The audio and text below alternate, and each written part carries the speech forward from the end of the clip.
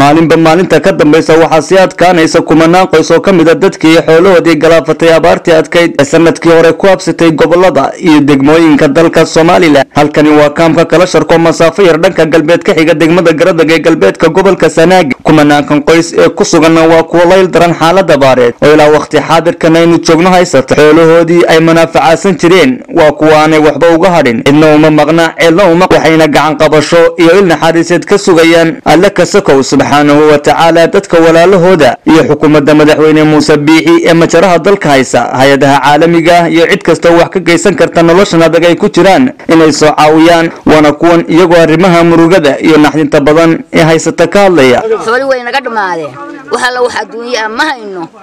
Ubaxna waa wadanaa yaryar oo aanu haddii badh iska macluulo aanu macluul nooga baqbaqtiyey.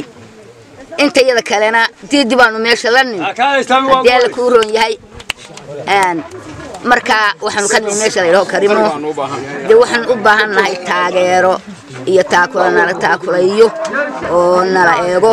Yaanu u baahannahay aadoodaanu baryaynaa idoo leenahay waryaadhahen de waa kaa waa baahannahay saasaa wax nooga lumeen.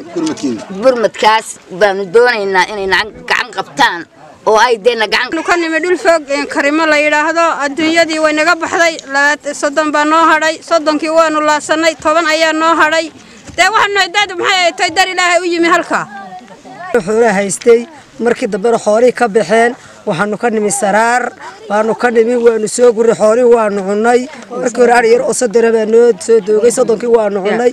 Toban baa nooga hadhay tobankiina halkan baanu la nimi waanu soo guray kalasharkan baanu nimi. Marka waxaanu nimi dadkii haruu yiilay ee deganaa dadkii haruu yiilayna waa biyo iyo marka waxaanu ka codsanaynaa xukuumadda iyo hay'adaha iyo magaalada iyo dawladda iyo madaxda iyo kawsarada iyo waayarada joogaba inayna soo caawiyaan hay'adaha iyo dawladduba inayna caawiso. Dadkii xoolaha ka soo baxeenna waanu nahay degdeg inay wax noo siiso. Baanu doonaynaa. Iyadoo abaarina naafeeyeen xoolii naga baxeen. Gelow adhi aanaan waxbaba haysan. In lana caawiyaa baanu rabnaa dawlad iyo hay'adaha caalamkaaga. Dawladda iyo wixii hay'adaha iyo wixii waanu liidanaa aad iyo aad baanu u liidanaa. Hooyga iyagu waa kaa hooy ma haysano. Waxba ma haysano. Waxaan leenahay in dawladduna soo caawiso ayaanu u baahanna aad iyo aad ayaanu u liidanaa u basarxunahay qaabka iyagu wuxuu yahay.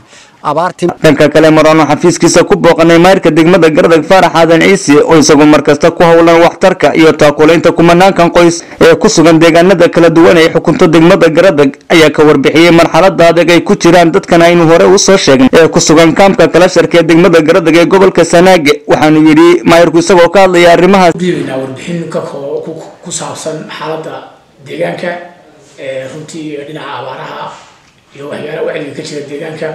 Runtii marka hore dhinaca deegaanka nabadgelyo guud baa la qabaa. Xagga nabadgelyadu waa boqol kiiba boqol. Waxaan doonayaa inaan sheego arrinkan xaaladda abaaraha ee deegaanka. Degmada ka kooban ilaa koob iyo labaatan tuulo iyo ilaa sideed ceelbiyood dhammaantood dhulka aan sheegno dhan waxaa degan dad barakacayaala sidaan ama kormeer ku soo marnay ama ay dadku ay arkeen ama ay noo diiwaan gashaan. Markaas waa dadkan horteeda yaalla. Ilaa shan boqol lix boqol iyo lix kun shan boqol iyo toddobaatan iyo sideed qoys baan haynaa anagu intaan soo diiwaan gelinay. Dadka barakacayaasha ee degan kaamka ku jira ee aan meela ku tiirsanayn. Dadkaasi badigood waxay ku tiirsanaayeen hay'adaha iyo waxyaalaha ay xukuumadda iyo guddiga abaaruhu soo gaarsiiyaan dadkaasi runtii waxa weeye in dhaweyd wax la soo gaarsiiyey ma jirto. Marka laga reebo raashin waxoogaayo shacsiga loo soo gaarsiisay iyo dadkaasoo boqolkiiba soddon ma garanaysa markii hore hay'adaha ku tiirsanaa kuwa kalena ayaga ku sii tiirsanaayeen sidaa daraaddeed dadka imika wax soo saartay arrin aad iyo aad culus oo haddii aan sida deg wax looga qaban ka daraan karta xaaladii hore waxay ku jiraan dadkaasi dhammaantood xaalad emergency ah maadaama aanu roobdiin ka soo kabashana aanay helin xoolihin dhulkiina uu weli xaalaf yahay yaraantu ay jirto xaaladoodu waxa weeye xaalad adag bay noqonaysaa. Runtii markaa waxaan u baaqaynaa xukuumadda iyo hay'adaha iyo dadka muxsiniinta cid kastoo wax soo tari kartaan in dadkaa la soo taageero. Waayo haddii aan bishan dadka wax loo soo gaadhin dabayaaqadeeda ama intaan ku guda jiraan bishan dhammaan waxaa suuragala inaynu aragno xaalad kale oo biniaadanimo sida ka bedelan sidaa daraaddeed baanu baaqa ugu diraynaa maadaama nahay xogogaal deegaankiya aan meel kastana aanu marnay tuulo kasta iyo kaam kasta aanu istaagnay waxaanu aragnay inaan ka fursanayn dadkii loo hadlo. Ama iyaguba ay hadlaan oo ama laba soo eego. Sidaa daraaddeed wax baaqa waxaanu kulliba celinaynaa in dadkaa la soo eego loo soo gurmado. Dee nalala arko oo maxaan ku rahdaa ay dadkan si kastaba haatee markaad u kurgasho xaalada dadka barakacayaasha ee ku dhaqan deegaanada kala duwan ee hoostaga degmada garadag waa mid waa kastoo berya weji adag sii yeelanaysa. Iminkana waxaa dib uga dilaacay degmada garadag iyo deegaanada hoostaga abaar hor leh oo dabada iska raacaysay xoolihii farakutiriska ah ee ka soo doogay abaartii ismaaciil sato ee sanadii labada kun iyo toddobiyo tobankii la soo dhaafay ku habsatay dalkani jamhuuriyadda somalilan maxamed gumburi star t v degmada garadag